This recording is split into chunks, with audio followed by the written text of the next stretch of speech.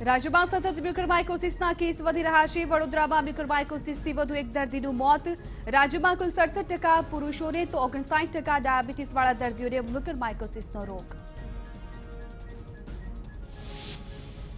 ગુજરાતમાં મ્યુકરમાઇકોસિસનો હાહાકાર રાજ્યમાં છ શહેર અને જિલ્લામાં નવા ઓગણએંશી કેસ નોંધાયા છે જ્યારે પાંચ દર્દીના મૃત્યુ થયા છે અમદાવાદ સિવિલમાં પચીસ કેસ નોંધાયા છે એકનું મોત થયું છે તો હાલ સિવિલમાં મ્યુકરમાઇકોસિસના કુલ ચારસો એકોતેર દર્દી દાખલ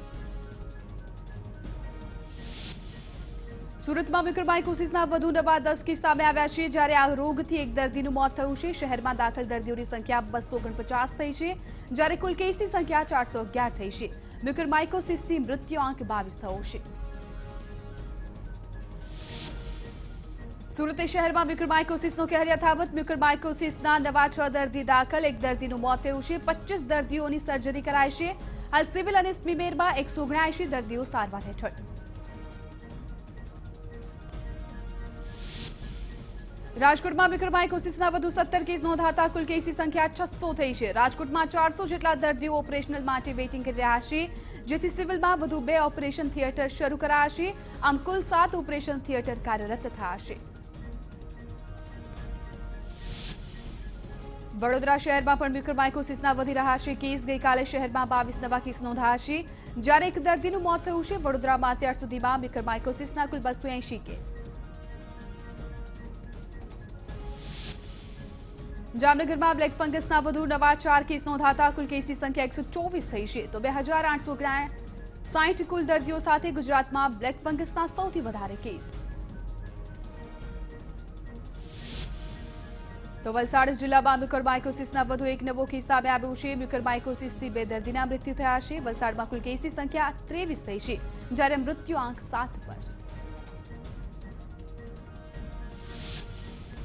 રાત્રિ કર્ફ્યુમાં રાહત મળતા આજથી નવો નિયમ લાગુ આવતીકાલથી રાત્રિથી નવ વાગ્યાથી સવારે છ વાગ્યા સુધી રાત્રિ કર્ફ્યુ લાગુ પડશે આ નવો નિયમ આઠ દિવસ સુધી લાગુ પડશે જો કે અગાઉની તમામ જોગવાઈઓ અમલી રહેશે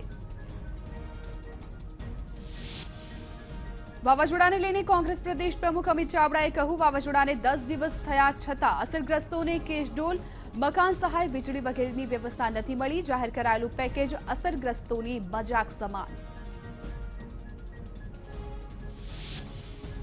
અમદાવાદમાં જીએમડીસીમાં એક હજાર રૂપિયા રસીને લઈને વિવાદ થતા નાયબ મુખ્યપ્રધાને નિવેદન આપ્યું છે ડ્રાઈવ થ્રુ વેક્સિનેશનનો નિર્ણય મ્યુનિસિપલ કોર્પોરેશનનો અંગત નિર્ણય હોઈ શકે છે કોર્પોરેશને રાજ્ય સરકાર સાથે કોઈ ચર્ચા કરી છે કે નહીં તે અંગેની માહિતી તેમની પાસે નથી તો આ તરફ અમિત ચાવડાના નિવેદન પર ડેપ્યુટી સીએમ નીતિન પટેલે આપ્યો જવાબ તેમણે પલટવાર કરતા કહ્યું કે વિરોધ કરવો એ તો કોંગ્રેસનું કામ છે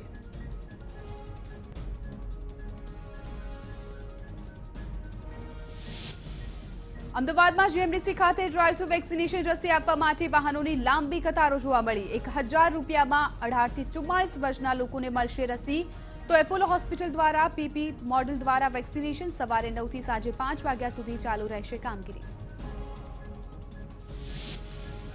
રાજ્યમાં ચાલી રહેલ વેક્સિનેશન પર કોંગ્રેસે ઉઠાવ્યા સવાલો વેક્સિનેશનને લઈને કોંગ્રેસ નેતા અર્જુન મોઢવાડિયાએ વ્યક્ત કરી નારાજગી જેએમડીસી ગ્રાઉન્ડમાં વેક્સિનના એક હજાર રૂપિયા લેવાતો ચાર્જ અયોગ્ય અમદાવાદ એરપોર્ટ પર અન્ય શહેરમાંથી આવતા ડોમેસ્ટિક પેસેન્જરો માટે હવે બોતેર કલાકમાં કરાવેલા આરટીપીસીઆર ટેસ્ટ નેગેટિવ રિપોર્ટ અનિવાર્ય નથી જો કે કોઈ મુસાફર શંકાસ્પદ લક્ષણો સાથે જણાય તો તેને આરટીપીસીઆર ટેસ્ટ માટે મોકલાય છે અમદાવાદમાં ધન્વંતરી કોવિડ હોસ્પિટલમાં પોસ્ટ કોવિડ કેર વોર્ડ શરૂ કરાયો છે કોરોના રિપોર્ટ નેગેટિવ હોય પરંતુ ઓક્સિજન સંબંધિત સમસ્યા હોય તો દર્દીઓને અપાશે સારવાર અમદાવાદમાં ધનવંતરી હોસ્પિટલમાં આર્મ ફોર્સ ખડે પગે કોરોનાના કેસ ઘટતા રિકવરી રેશિયો વધ્યો છે અધિકારીઓ ત્રીજી લહેર માટે સજ્જ છે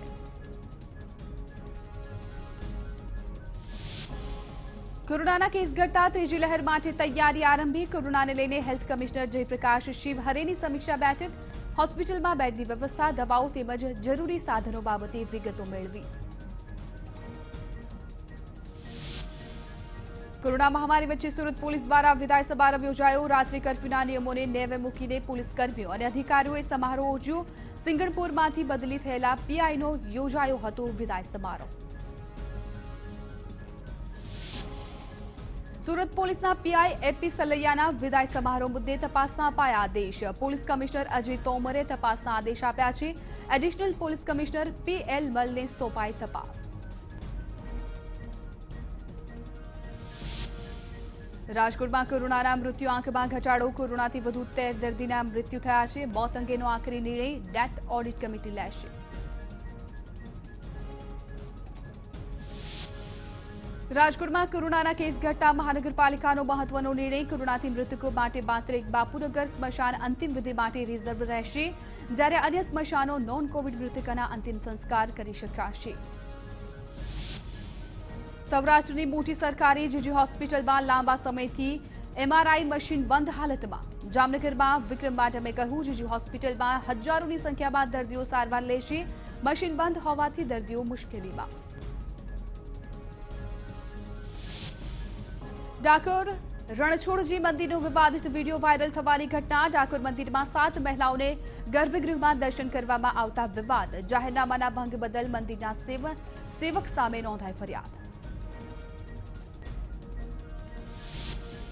દાહોદમાં ડેપો દ્વારા એસટી બસના વધુ દસ રૂટ શરૂ કરાયા છે. દાહોદ ડેપો પર જામી ભીડ જિલ્લામાં ડેપોની રોજિંદી આવકમાં થયો વધારો. મહેસાણા સિવિલ હોસ્પિટલમાં કોરોના ટેસ્ટ માટે આરટીપીસીઆર લેબ શરૂ કરાય હવેથી લોકોને માત્ર ચોવીસ કલાકમાં ટેસ્ટનું પરિણામ મળી રહેશે.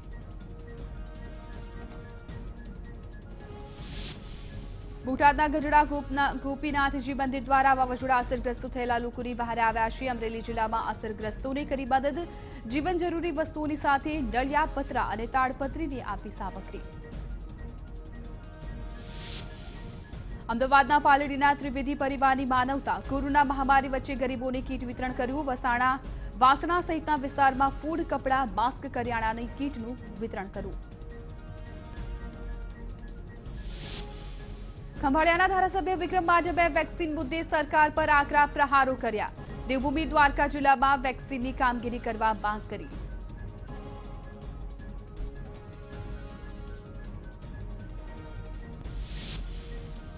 રાજ્યના સહકાર પ્રધાન ઈશ્વરસિંહ પટેલના ભાઈ વિજયસિંહ પટેલે વડાપ્રધાનને લખ્યો પત્ર સ્થાનિક ભાજપના નેતાઓ કૌભાંડ સામે અવાજ ઉઠાવતા ખોટા પોલીસ કેસમાં ફસાવી આર્થિક અને સામાજિક રીતે પાયમાલ કર્યા હોવાનો આક્ષેપ પોતે સહપરિવાર આત્મહત્યા કરવા મજબૂર થયા હોવાનો પત્રમાં ઉલ્લેખ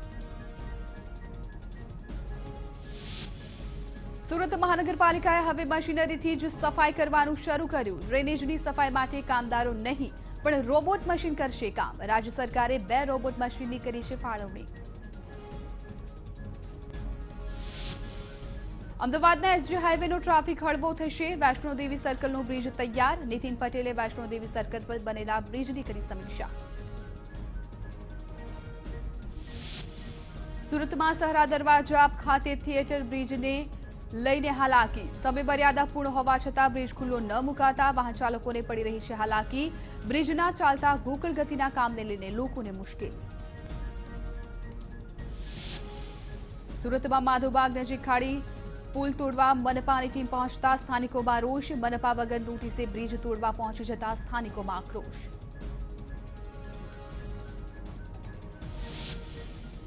દાહોદના ખરડી અને ગલિયાલવાડમાં કડાણા પાણીની પાઇપલાઇનમાં ભંગાણ, લીકેજ થતા પાણી આસપાસના ખેતરમાં ઘૂસતા પાકને ભારે નુકસાન, ખેડૂતોએ વળતરની કરી માંગ. વડોદરામાં વાઘોડિયા તાલુકાના કુબેઠા ગામે માત્ર ગામે ત્રણ મગરો દેખાયા છે. વાઇલ્ડ લાઇફ સંસ્થા અને વન વિભાગે પાંજરું ગોઠવી એક મગરને ઝડપ્યો. સરકારે જાહેર કરેલી સહાયને ઉનાના કોંગ્રેસના ધારાસભ્ય પૂંજાવંશે મજાક ગણાવી. પૂંજાવંશે કહ્યું કે સરકારે નુકસાની જાણ્યા વગર સહાયની જાહેરાત કરી દીધી છે. કિસાનોને એટલું નુકસાન થયું છે કે તે દસ વર્ષ સુધી બેઠો થઈ શકે તેમ નથી.